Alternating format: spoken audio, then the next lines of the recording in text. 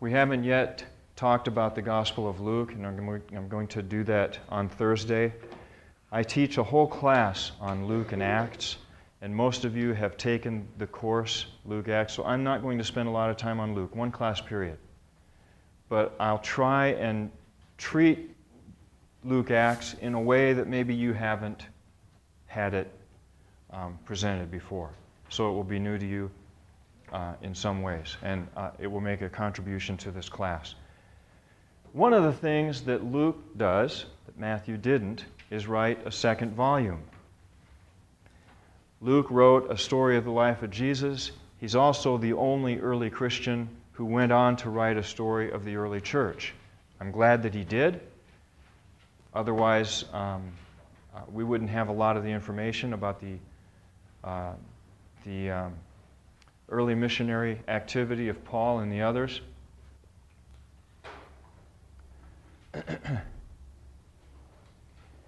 but what, what it did was it gave Luke an opportunity to talk at length about the Gentile mission. One of the issues in the early church, and it, it was spawned by Jesus, he had a lot to do with this. Okay? I have told you before that Jesus never talked to a Gentile.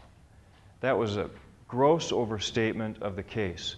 Maybe not overstatement. That was maybe a misleading statement of the case. What is true is that even though Jesus had very little to do with the Gentile mission, he had everything to do with the Gentile mission. Luke spends his whole second volume on the subject. It was one of the biggest issues in the early church. You know, we have issues today. I don't know, depending on what denomination you're from, you have issues that you deal with in your church. I can think back on my life as a Christian and the different issues that I have dealt with at different periods of time, from baptism to predestination to um, to um, the authority of Scripture, to inerrancy, to all kinds of things that, that I have dealt with.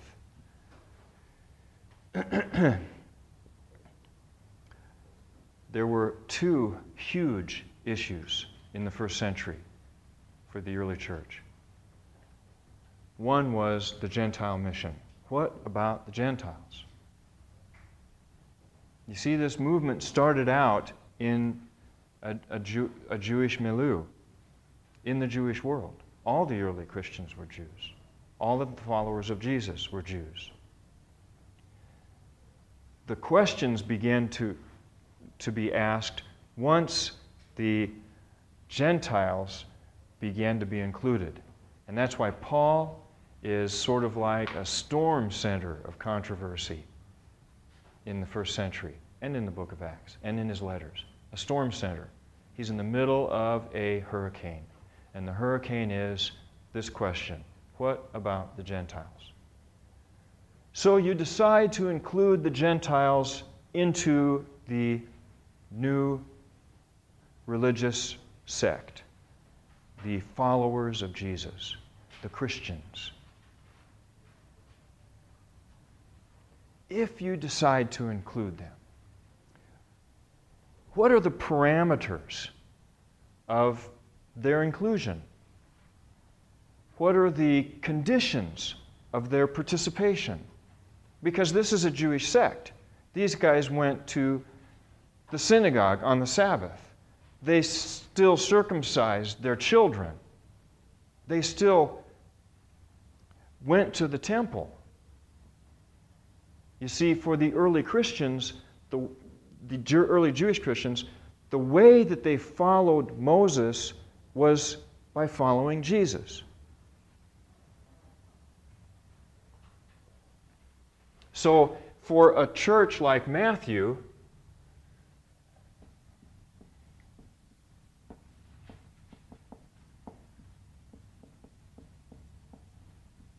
you could say that their religious practice was Moses with Jesus, or Moses through Jesus. And that's the way Jesus is presented in the Gospel of Matthew.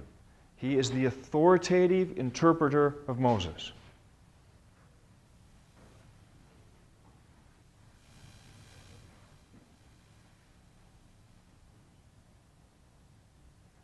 In the second century, there's a guy that's going to come along. His name is Marcion. He said this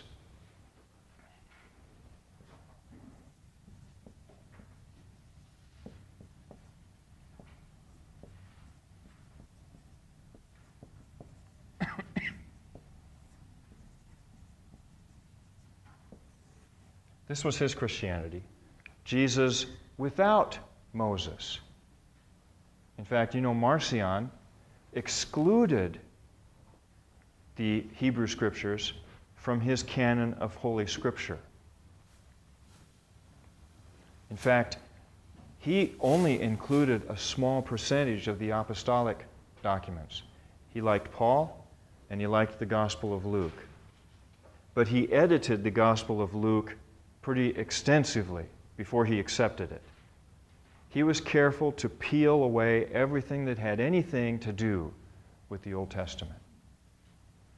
In fact, it was Marcion who probably motivated the early church to formalize its canon, New Testament canon. What is included, what is excluded. Marcion was the, really the first one to take daring steps in that direction. And most Christians were so unhappy with the way he was doing it that their response was what we ended up with, uh, you know, the formation of the New Testament. By the end of the second century, we have lists of New Testament books that are very close to the list of books in the New Testament that we have right now. So Marcion Marcion said, Jesus without Moses. he liked Paul, which is a curious thing because, you know, Paul was a Jew. He was a Pharisee, converted Pharisee. But he was also the, the missionary to the Gentiles.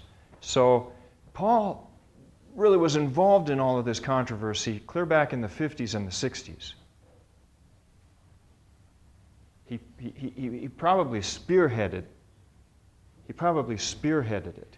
In fact, the Jerusalem Council in Acts chapter 15, where Paul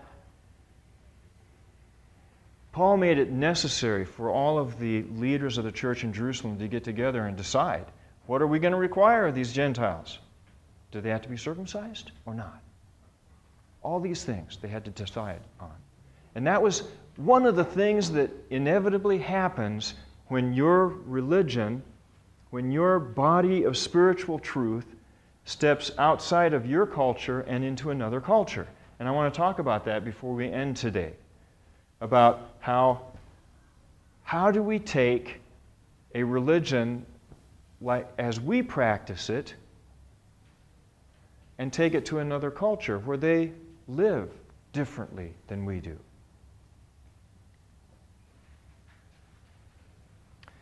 When I was working on my dissertation or my PhD in uh, one of the uh, one of the um, areas that I spent a lot of time developing uh, um, an ability to teach college courses was in Native American religions. I spent a lot of time on Native American religions because, you know, I'm from North America. I figured these guys deserve um, to be heard and, and uh, so in my comparative religions class, I even have a, a section that I spend on Native American religions. Fascinating, the religions of, of North Americans, natives. Um, but you know, when the early church started to um, engage in missions to the uh, Native Americans, they did a whole lot of weird things. They made Native Americans cut their hair, dress differently, change the language they speak, change the foods they eat. All these things. We were making them Christians. Or were we?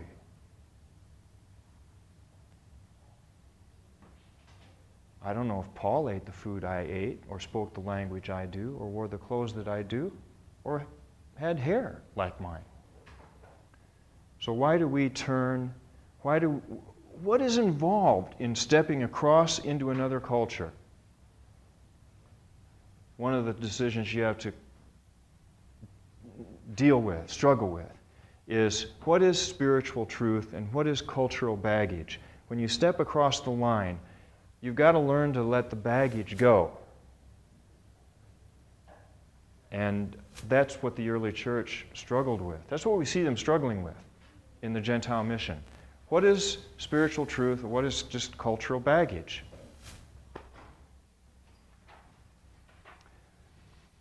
There were really, um,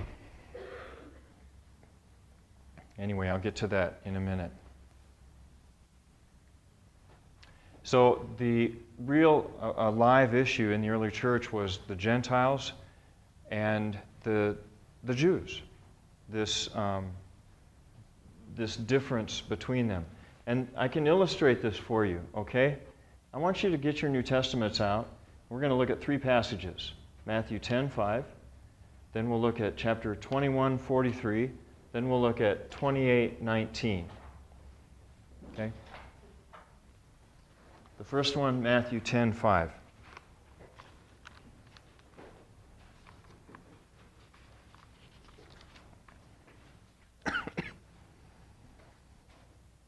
This is uh, the missionary journey that uh, Jesus sent the 12 out on, and this is what he told them. The 12 Jesus sent out after instructing them, and he said, Do not go in the way of the Gentiles, and do not enter any city of the Samaritans, but rather go to the lost sheep of the house of Israel. So there we've got clear instructions. Don't go to the Gentiles. Don't go to the Samaritans. Go only to Israel. Interesting. Look at this passage 2143.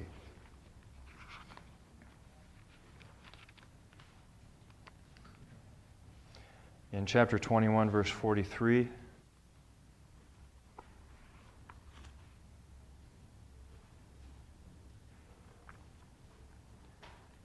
Jesus says, Therefore I say to you, the kingdom of God will be taken away from you and be given to a nation producing the fruit of it. That's curious. Go only to Israel. Then we've got this warning the kingdom of God is going to be taken away from you and given to another nation that will produce its fruit. Then finally, in chapter 28, verse 19, we have Jesus commissioning his disciples.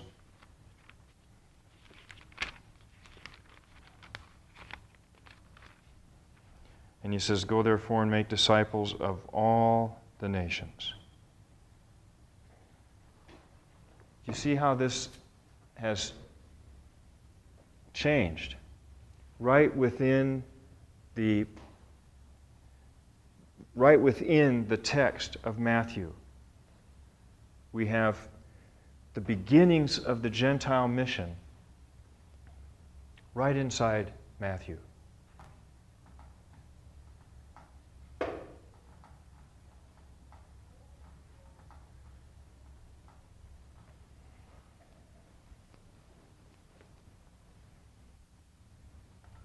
In many ways, Matthew does the same thing as Luke without writing the book of Acts.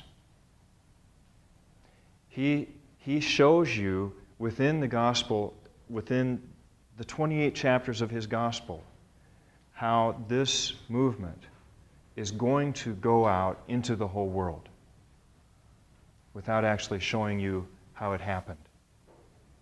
He's going to show you that it's that's where it's headed. But this is a curious sort of tension. Because Jesus at one point says, Don't go to the Gentiles. The next minute he says, Go to the Gentiles.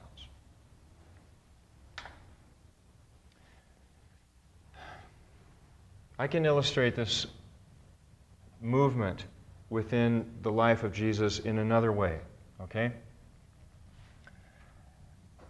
Do you remember when we were talking about the sources that Matthew and Luke and Mark, Matthew and Luke used? Matthew and Luke used Mark. They also used another source that I called Q.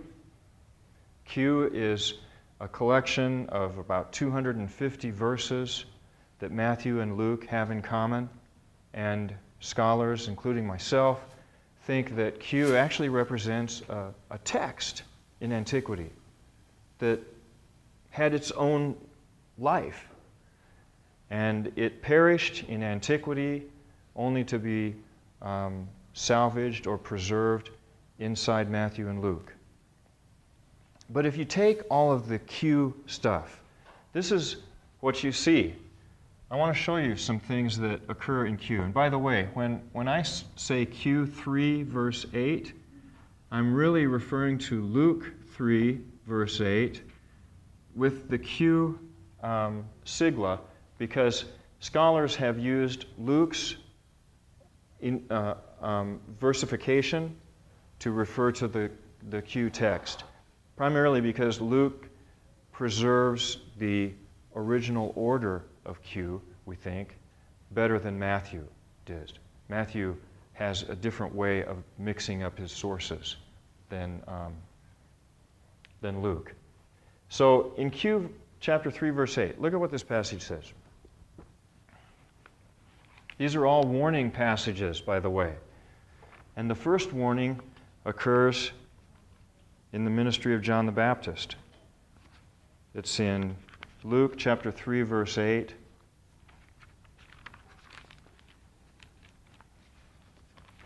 John says, Therefore, bring forth fruits in keeping with your repentance, and do not begin to say to yourselves, We have Abraham for our father. For I say to you that God is able from these rocks to raise up children to Abraham.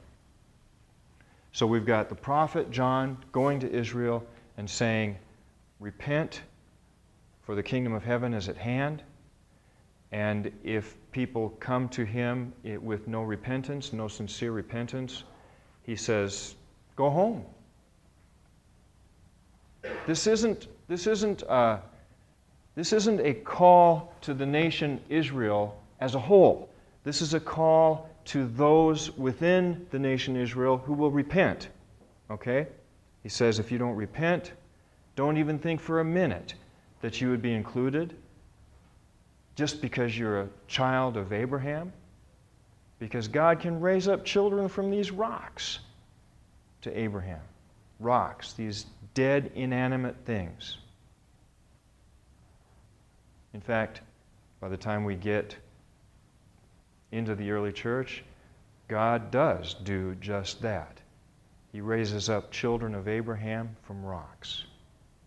You and me, Gentiles, dead, inanimate, unclean human beings. So, what, what John the Baptist says God can do, he does. He does. The next passage is from Q chapter 7, verses 1 through 10.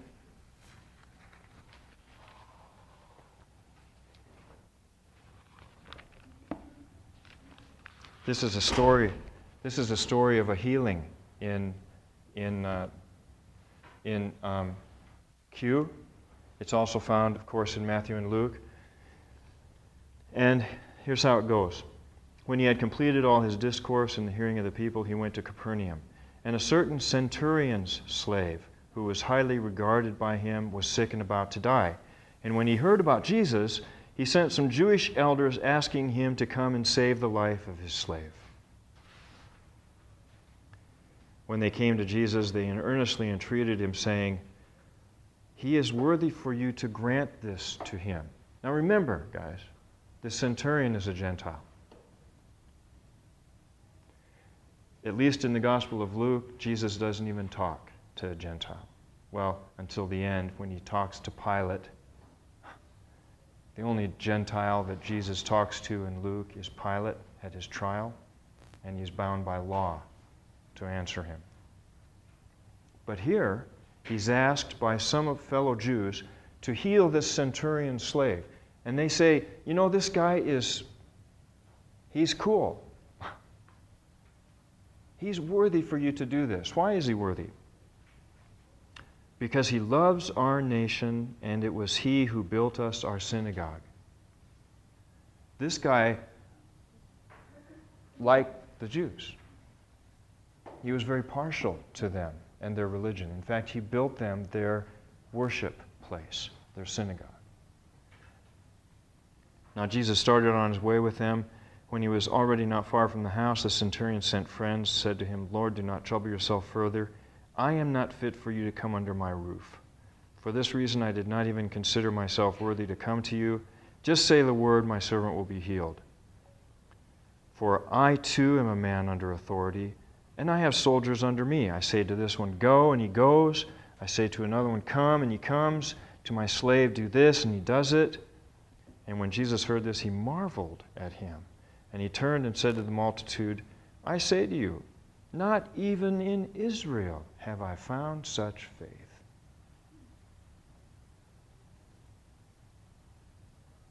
He sent them back. They got, they got back to the house and found the slave healed. So Jesus heals him from a distance. Why? Because of a Gentile's faith. So,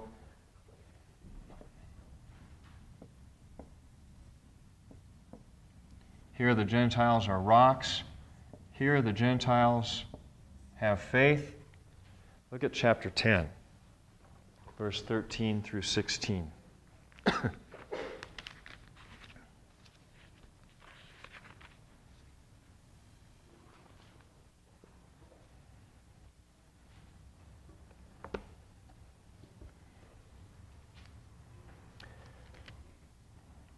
start in verse 10.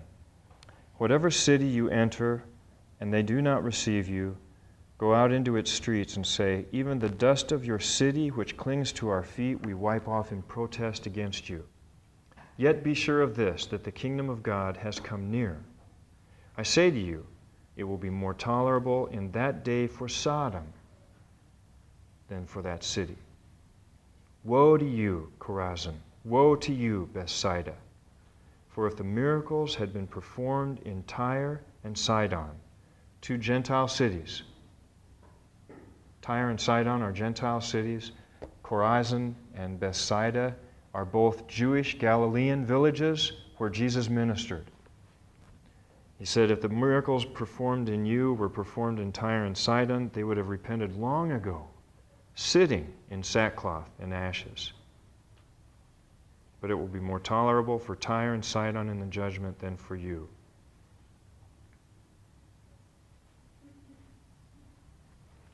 Here he's comparing these villages where he's ministering and being rejected to Gentile cities.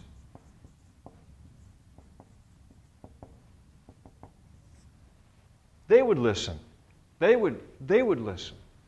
You know, in Q, like Luke, Jesus never goes to the Gentiles. He never goes there. He never really engages in a mission to them. He just threatens Israel with the possibility.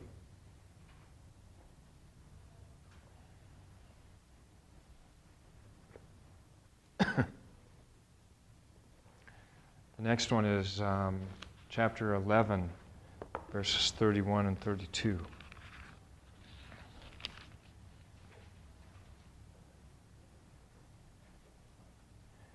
He says, The queen of the south shall rise up with the men of this generation at the judgment and condemn them, because she came from the ends of the earth to hear the wisdom of Solomon, and behold, something greater than Solomon is here.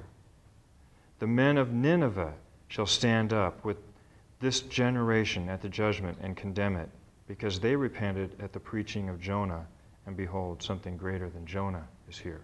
This is cool because Jesus uses the Queen of the South. You guys know who she is? The Queen of Sheba. She's referring to uh, an event in the, in the uh, life of Solomon, where the queen of the south, the queen of Sheba, came to witness the wisdom of Solomon and marvel at him.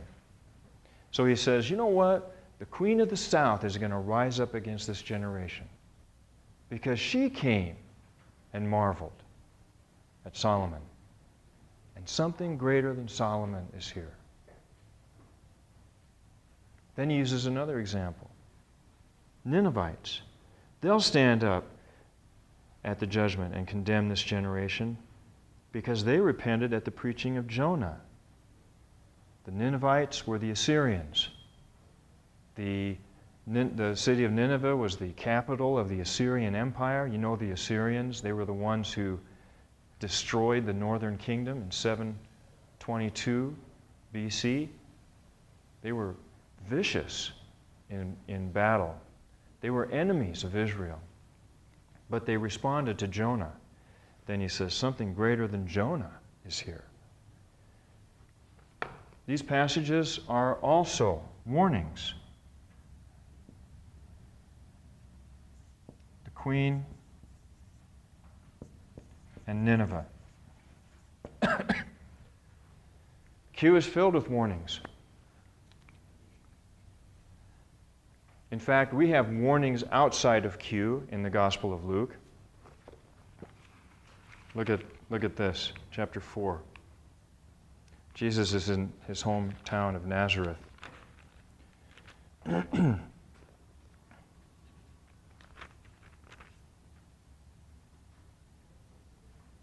he says, verse 25, Luke 4 I say to you, there were many widows in Israel in the days of Elijah when the sky was shut up for three years and six months, and a great famine came over the land.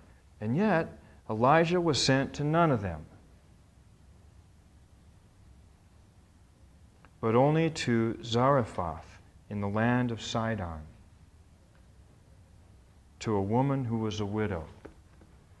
Who's this woman? Well, she was a Gentile. So all these widows existed in Israel but none of them benefited from Elijah, only this Gentile widow. And Jesus is out uh, appealing to the people in his hometown, and he says, You know what? It's going to be like that again. It's going to be like that again. God is going to send a prophet to his people, and no one but the Gentiles will benefit from him. This ended up happening because these warnings become in the Gospel of Matthew in its final edition. Um, let's say that Q represents Matthew, the first version, and that the Matthew, the text of Matthew that we have is Matthew edition number two. In Matthew edition number two, we have no more warnings. The kingdom of God has exploded onto the world outside of the borders of Israel. And we can, talk, we can look at some of the parables in Matthew and see this. The, the parables that he told about the kingdom of God being like a seed that grows secretly, and all of a sudden you're going to see the fruit of it, and it's going to be it's going to amaze you how far the fruit of this seed has spread.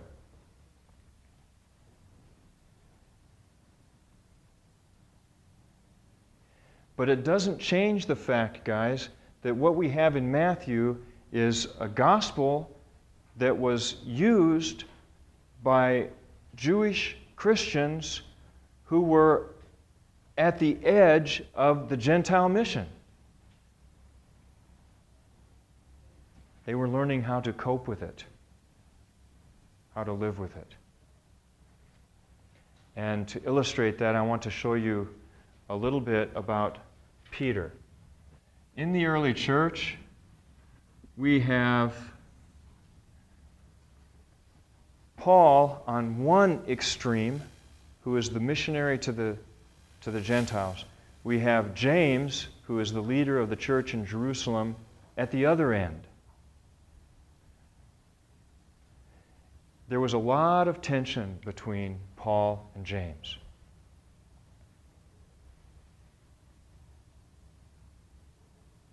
Because there was a lot of opposition and suspicion about Paul.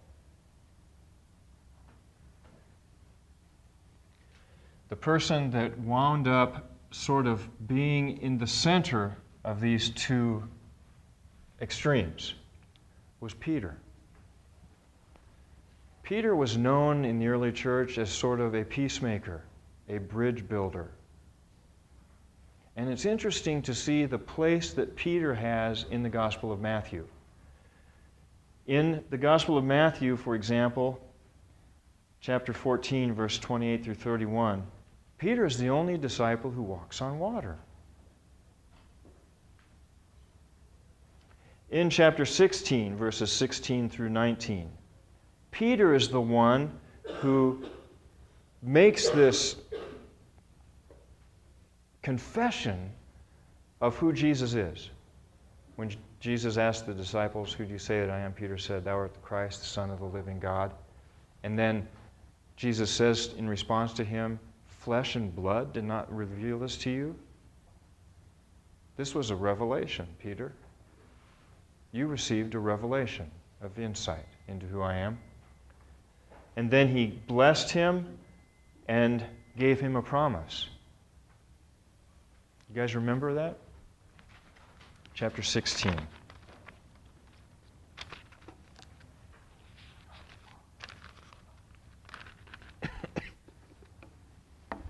and I say to you that you are Peter, and upon this rock I will build my church, and the gates of Hades shall not overpower it. I will give you the keys of the kingdom of heaven. And whatever you bind on earth shall have been bound in heaven, and whatever you loose on earth shall have been loosed in heaven. This is all addressed to Peter, the individual, to whom this revelation was given, then the blessing, then the promise. The keys to the kingdom were held by this person, Simon Bar Jonah, whose name was changed to Peter. Petros in Greek, which means rock, or Cephas in Aramaic, which means rock. Paul frequently refers to him as Cephas. That was his new name, the rock.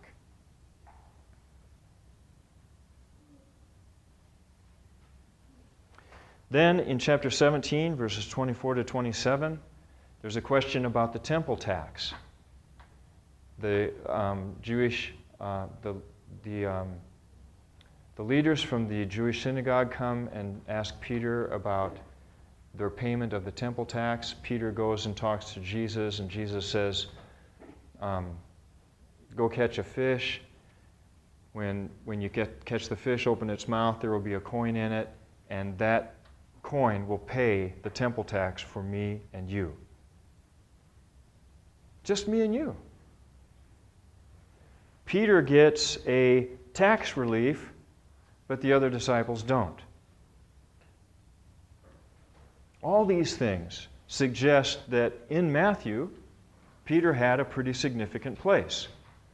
And I think it's possible for us to uh, suggest, maybe not boldly, but suggest that Matthew is a gospel where Peter had a lot of authority. It was a gospel used by a church where Peter had a lot of authority, a lot of clout. He was a leader. He's given preeminence in the document.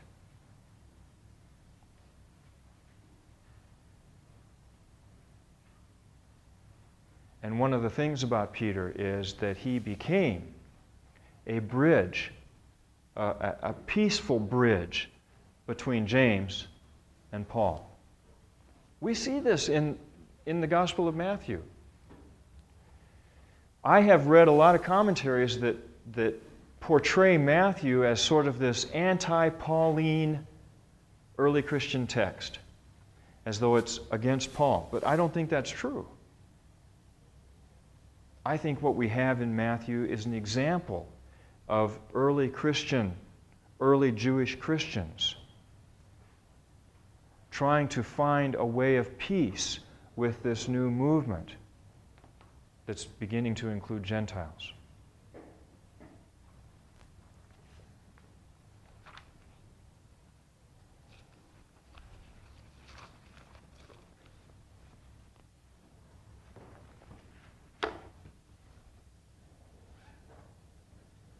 So, in this movement of the early church, from becoming, from, in this movement from being a Jewish sect interested only in a mission to the, to the Jews, it was growing out of that and becoming a more inclusive religion.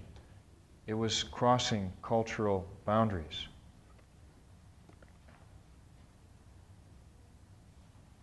The threat against the opposition that Jesus encountered in Israel was history.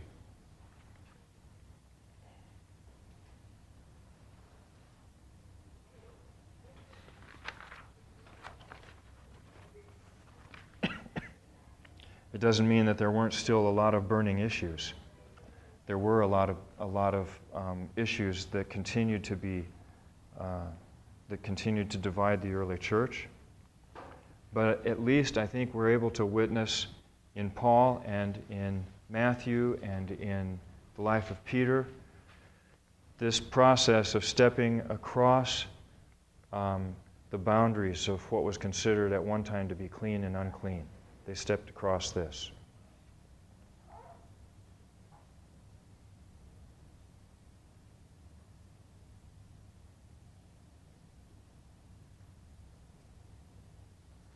I don't know if I'm if I've made the point well enough for you guys to understand that I'm trying to suggest that we might we might be privy here to some important information for us as we try to do the same thing in our world. How do you how do you take what you consider to be spiritual truth and share it with people who are different than you? Do the differences between you um, provide a barrier? What do you do about those differences?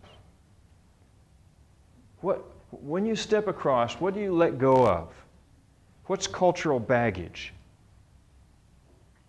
What is cultural baggage?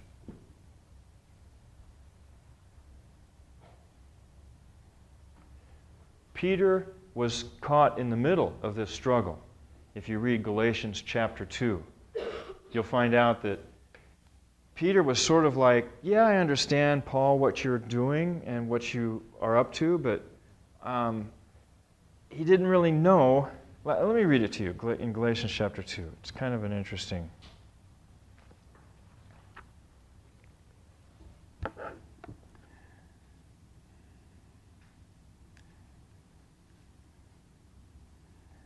I'll start reading in verse 3. I'll start reading in verse 2. And it was because of a revelation that I went up and I submitted to them the gospel, the, the um, leaders in Jerusalem. I submitted to them the gospel that I preached among the Gentiles. But I did so in private to those who were of reputation, for fear that I might be running in vain. But not even Titus, who was with me, though he was a Greek, was compelled to be circumcised but it was because of the false brethren who had sneaked in to spy out our liberty which we have in Christ Jesus in order to bring us into bondage. We did not yield in subjection to them for even an hour, so that the truth of the gospel might, might remain with you. But from those who were of high reputation, well, those who were of reputation contributed nothing to me. On the contrary, seeing that I had been entrusted with the gospel to the uncircumcised, just as Peter had to the circumcised.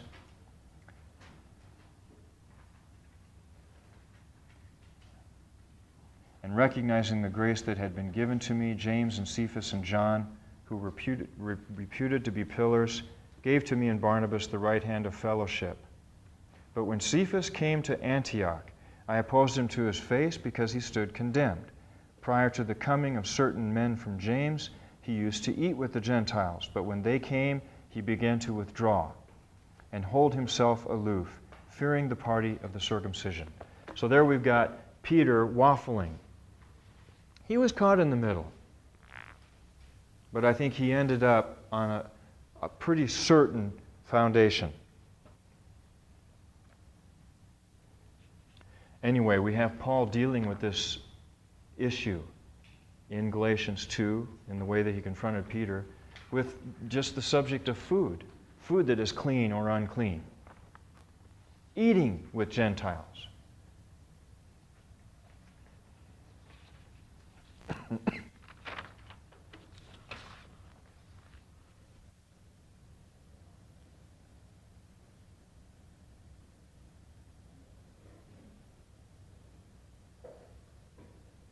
I think Paul understood very clearly that the cultural baggage had to be declared. He was trying to get the other leaders of the church to deal with this.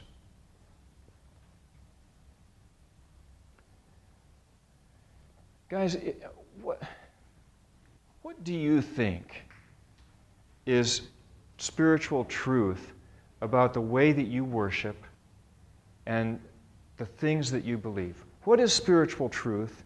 And what about it is just cultural baggage that if you had to step into another world, you could let that go? What could you let go? And what could you not let go? It's a critical question to ask. We see the church having to deal with it. The whole thing was started by Jesus. He started this.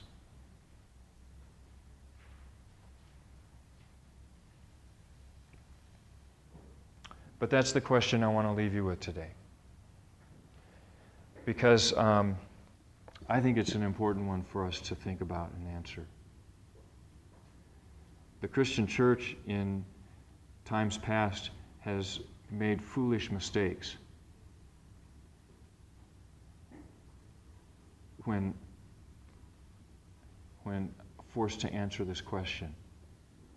Because spiritual truth has nothing to do with the way you wear your hair, the clothes you wear, the food you eat, the language you speak, the place you worship.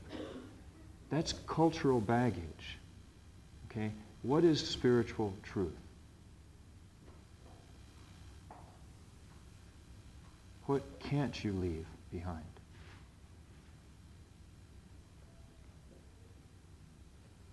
This was the issue the early church had to deal with. I mean, it was in their face. Paul put it there in their face. We can see, we can see it being dealt with in Matthew and Luke and Mark. But here it's especially interesting because we have here a group of Jewish Christians who are still living in their Jewish world. That's totally okay, guys. It's totally okay. Believe me. My neighbors are Messianic Jews. I think I've told you. They go to synagogue on Sabbath. I have no problem with that.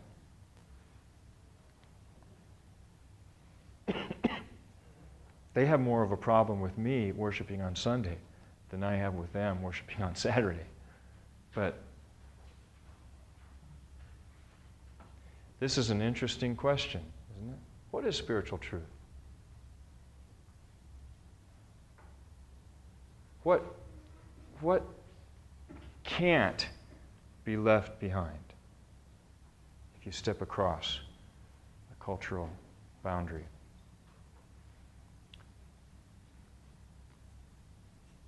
Think about it. I'll see you on Thursday.